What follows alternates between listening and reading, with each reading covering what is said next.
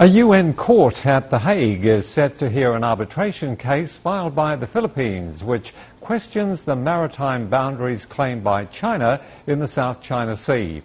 In response, Chinese Foreign Ministry spokesperson Hua Chunying has reiterated that China opposes any unilateral moves by the Philippines over the South China Sea dispute.